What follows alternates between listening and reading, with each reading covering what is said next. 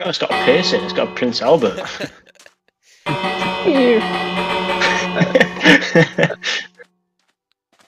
That's what I call a bellend.